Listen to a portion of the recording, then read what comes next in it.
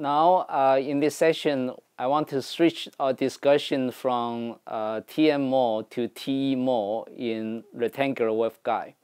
And you're going to see very similar derivations. Uh, and I purposely repeat the calculation so that you can gradually get familiar with the steps uh, for the analysis. So now, uh, again, we have a two-dimensional uh, boundary along the transverse direction and the wave propagate along z direction.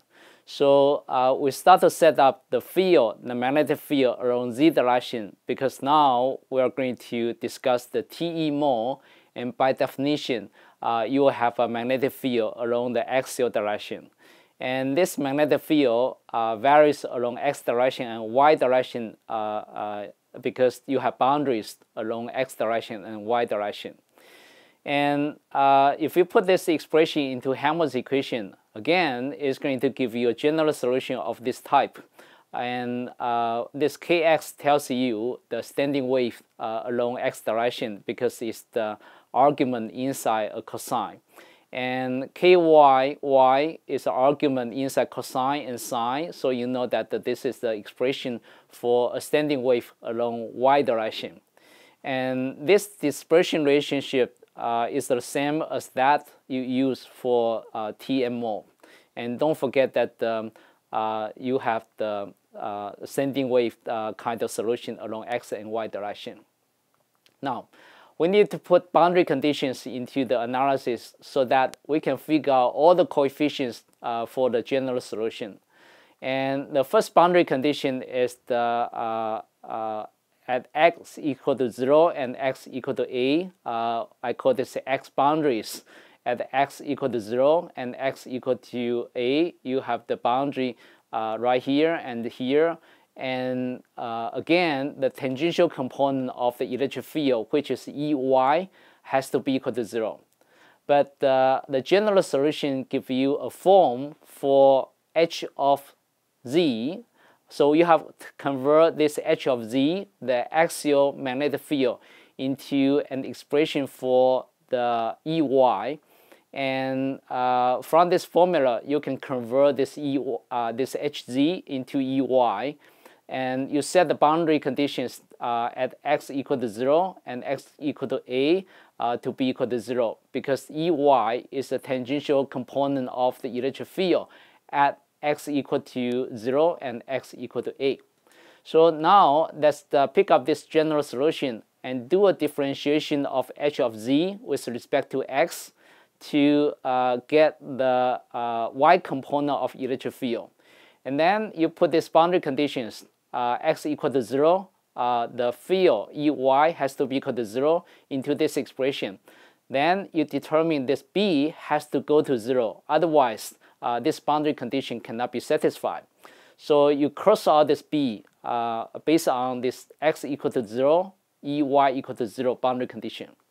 Now you have a second boundary condition that is the x equal to a, the Ey, again, tangential component of the electric field, has to be equal to 0 uh, at uh, x equal to a. So you put this the uh, x equal to a into this expression.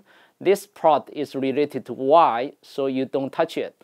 Uh, you put a into this the uh, sine kx x, so you have sine kxa equal to 0. So you deduce this kx equal to m pi over a. So now uh, you have to uh, figure out this the kx and also you cross out this term.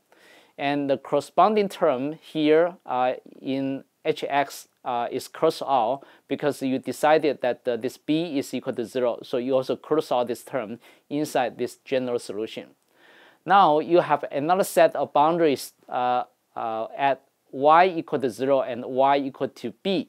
So you do the same thing uh, uh, on these two boundaries by setting uh, y equal to 0 and y equal to b uh, at the boundary and the tangential component of the electric field is Ex in this case. And Ex is equal to the uh, uh, differentiation of the z component of the magnetic field with respect to y. So now you do this differentiation and create this expression based on this general expression here. So uh, you have this the uh, uh, sine kyy coming from the uh, derivative of this cosine kyy, and you have this cosine kyy here comes from the derivative of sine kyy with respect to y. So you have this the uh, ES uh, components uh, expressed by this expression. So again, you put the boundary conditions y equal to 0 into this expression and set this expression to be equal to 0. So you cross out this d coefficient. Uh, otherwise, the, uh, it cannot uh, satisfy the boundary conditions here. Uh, then you have a final boundary condition that is y equal to b, the tangential component of the electric field, which is Ex has to be equal to 0. So you put y equal to b into this expression and write down sine kyb equal to 0. So you figure out ky equal to n pi over b. Now uh, you can write down the final expression for the uh, z component of the magnetic field uh, inside this waveguide given by this expression. And this m pi over a is kx, and uh, m pi over b is ky. So once you have this uh, expression, uh, you take a look into this expression, you found that you cannot set the m and n freely because in the previous case for tm wave, you cannot have any of the m or uh, n equal to 0. But for t wave, turn out that you can have one of them equal to 0. If you have both equal to 0, then the uh, mode is going to uh, return to the TEM mode. But uh, for TE mode, you can have m equal to 0, n not equal to 0, or m not equal to 0, n equal to 0. So uh, if we uh, write down a few expressions for TE10 mode. This means that uh, we set M equal to 1 and set N equal to 0. Then you can plot the uh, field patterns like this. And uh, don't forget that this MN uh, tell you the uh, number of standing wave lobes along the x and y direction. Uh, for n equal to 0, this means that the along y direction, uh, the field does not depend on y. So you can see that along y direction, the field is a constant uh, in the vertical direction. And uh, uh in general, you can see that the, the uh, uh, electric field go into the surface normal direction and the magnetic field are going to be tangential to the boundaries. So this is the uh, TE10 mode uh, field patterns. Now, uh, once you figure out kx and ky, you also know that the, the square of the eigenvalue h is equal to kx squared plus ky squared, uh, which is given by this sum. And you also know the definition of the cutoff frequency. So now, uh, similar to the calculation you use for Tm, Mn mode, you can also figure out the cutoff frequency like this, which depends on the value of m and the value of n, and also the waveguide dimensions a and b. So if you divide this the cutoff frequency, uh, um, uh, set it to the, uh, the speed of light divided by this cutoff frequency, then you uh, have the cutoff wavelength given by this expression. And uh, the calculations uh, are very similar to the calculations you use for the TM mode. So you can also uh, calculate the propagation constant associated with this TE mode given by this expression. And you reach the similar uh conclusion that um, uh, to have propagation mode inside the waveguide, this beta has to be a real number. This means that the, the operation frequency omega has to be larger than the cutoff frequency. And the cutoff frequency is described by this uh, expression. And for different modes, uh, there will be different cutoff frequencies. Uh, because if you put different m and n into this expression, uh, you'll get different value for this cutoff frequency. So let's try to understand the uh, cutoff frequencies for different modes. So let me copy down the uh, cutoff frequency for TM and TEMM mode because the, for TE and TM modes inside this waveguide, the cutoff frequency expressions are the same given by this expression. Uh, and we also know that uh, uh, for Tm mode, m and n cannot simultaneously equal to 0. So the dominant Tm is going to be Tm11 mode given by this expression. Uh, if you put m equal to 1 and n equal to 1 into the uh, expression, you end up having this expression for Tm11 mode. Uh, but for the T mode, uh, m both 0 uh, is not allowed, and uh, but you can have one of them equal to 0. So uh, you can have the, for example, the uh, TE10 mode given by this expression and uh, TE01 mode given by this expression. Uh, basically for TE10 mode, you set n equal to 0. So you have this uh, pi over a, uh, uh, 1 over a expression here. But uh, for TE01 mode, you will set this m equal to 0. So you keep this b in this expression.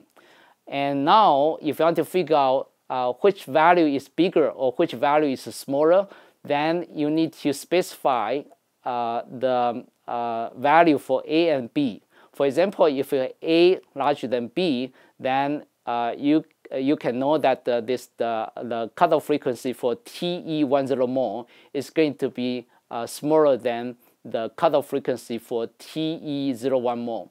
So given this condition, the dominant T mode is going to be TE10 mode.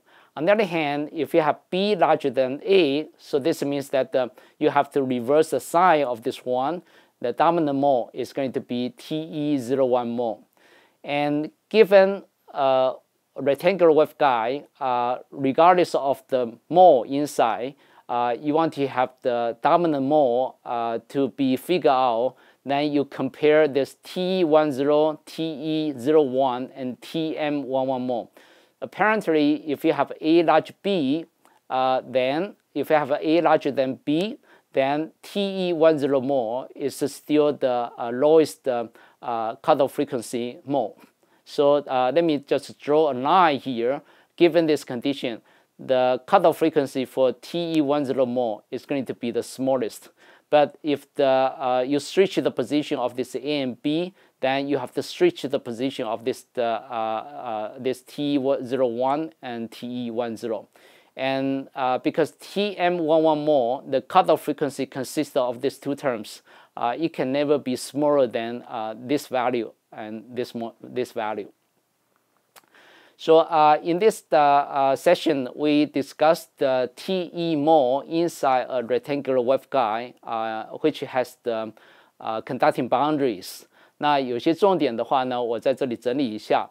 在这个呃矩形的呃金属波导里头呢，这个 TE mole 呢会有一个呃磁场在 z 的方向，也就是轴向上头，但是在这个呃 x 跟 y 的方向上头。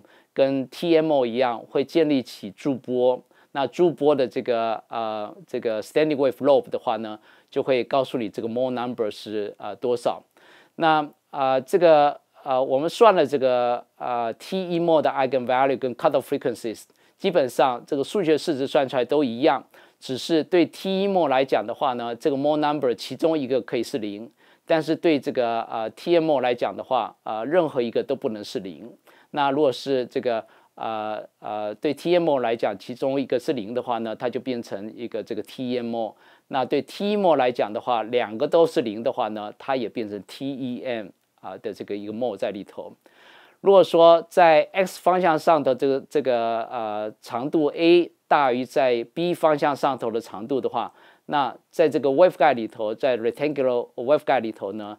它的主要的模态 dominant mode 呢，会是这个 T E one zero mode，因为它的 cutoff frequency 最小。那这个是啊，这个小节里头的几个重点啊，跟大家分享，谢谢。